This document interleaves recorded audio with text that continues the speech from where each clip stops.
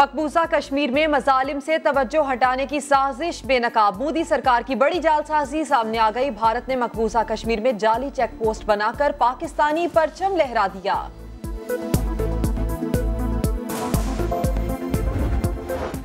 کشمیر کی آزادی کے دن قریب آ گئے۔ پاکستان نے کشمیر بنے گا۔ پاکستان کے نعرے کے ساتھ یوم آزادی منانے کا فیصلہ کر لیا۔ وزیر اعظم یوم آزادی کشمیر میں منائیں گے۔ عمران خان آزاد کشمیر اسمبلی سے خطاب کریں گے۔ حریت کانفرنس اور دیگر کشمیری رہنماؤں سے ملاقاتیں بھی شیڈیول ہیں۔ ملک بھر میں دوسرے روز بھی جانوروں کی قربانی، کہیں گائے، کہیں بکرے تو کہیں اونٹ نہر کیے گئے۔ جانور ذبح ہونے کے بعد دعوتوں کا سلسلہ جاری۔ مٹن کڑھائی، بیف بوٹی اور مزے مزے کے پکوانوں پر ہاتھ صاف۔